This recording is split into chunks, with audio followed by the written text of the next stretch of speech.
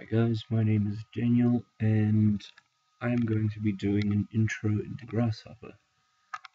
Alright, so first thing we're going to do is we're going to type in Grasshopper. I'm assuming that if you've come to this tutorial you have a version of Rhino and you have it open. If not, open it up and type in Grasshopper in the command line. Alright, so this is what the Grasshopper window looks like by default. This space over here is called your canvas, and anything you want to create has to be placed on here.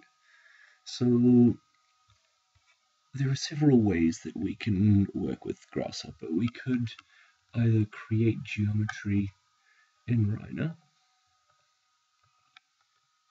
like this polyline, or a cube, and then we can reference these into Grasshopper. So I'll grab a curve component and I will right click on it and set one curve and then select my polyline. I could also bring this box that I've created in as a uh, as a BREP. A BREP stands for a boundary representation, which is just another name for a polysurface piece of geometry in Rhino. So right click on BREP and set one BREP and click the box. Alright, that's one way to bring ge uh, work with geometry in Grasshopper.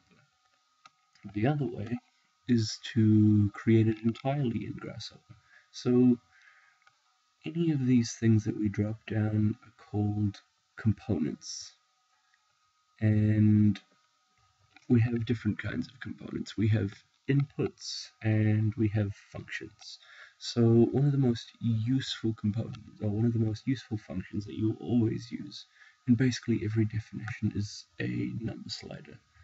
A number slider is basically just a value, uh, a variable value. So by default, a slider fits between uh, 0 units and 1 units. But we can double click that and in here we can edit the slider. So maybe I'll set my minimum value to negative 10. I'll set my maximum value to negative 10. And we also have the option of floating point parameter, or floating point numbers, which are just decimal point numbers, integer numbers, so whole numbers, and even numbers and odd numbers.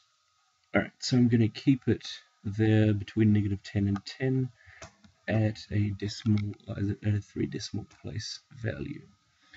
Alright, so now I need to link this up to something. So maybe I'll create a point.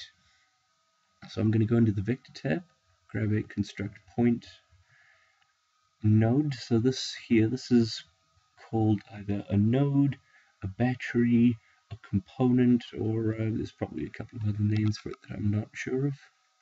Um, so any, so basically, this point is asking for three values, an x, a y, and a z. By default, they are all zero. So I can take this slider value and plug it into my x value.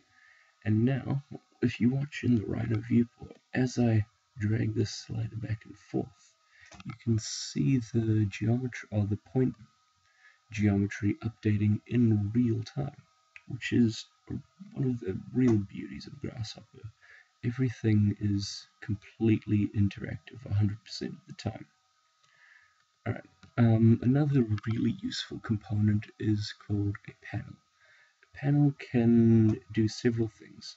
We can either use it as an input, so I'll double click the panel and I'll chuck in a number like 5.6.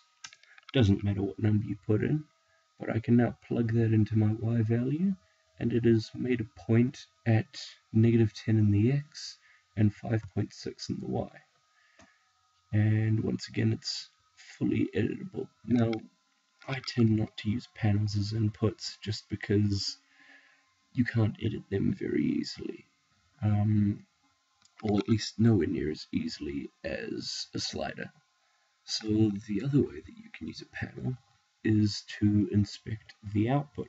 So if we connect this point into the panel, it gives us a bit of information.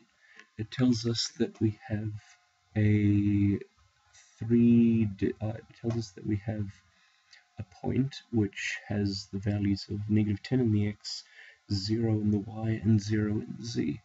And as we drag the slider back and forth, we can see the information updating on the slider, on the panel, and in the Rhino viewport.